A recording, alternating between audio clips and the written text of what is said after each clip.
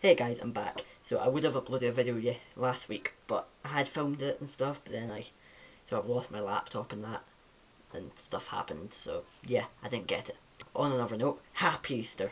Yes, it's Easter. Good time of year. I want chocolate eggs. I don't normally eat chocolate, but on Easter I want chocolate eggs. Or Irn-Bru, one of the two. Or both. Yeah, so it's Easter holidays now, which I'm pretty happy about, because I like the Easter holidays. Because, you know, holidays off school. Even though I do have to do quite a bit of studying during that for exams afterwards. Tomorrow is the start of Camp NaNoWriMo, which I mentioned in one of my previous videos. It's like NaNoWriMo, which I done in November, but it's just for, you know, this time of year instead. There's, there's also one in July, which I'll probably do as well, if I don't succeed in this one. Either way, it's going to be awesome. I'm going to enjoy that. Yeah, two weeks ago was not so good. I was off school from the first half of the week because of my asthma, which was pretty bad. I mean, it was quite. Normally, if it starts acting, I just take my inhaler and that should be it fine, but sometimes, like, that time, it was pretty bad and I had to stay off school for, like, three days. Yeah, it was pretty bad. I mean, this is how it looked.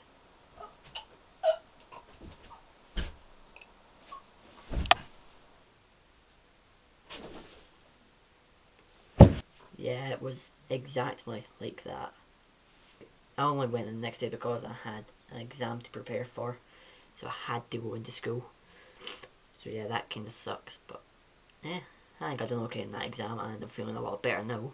Yeah, the only reason I went in is because I had an exam the next week, so I had to prepare. I think I passed that exam. Still got the two parts of it to do though. Subscribe up there. There's a link to my Twitter down there if you want to follow me on that, that'd be much appreciated. And please like this video if you enjoyed it and comment. Bye!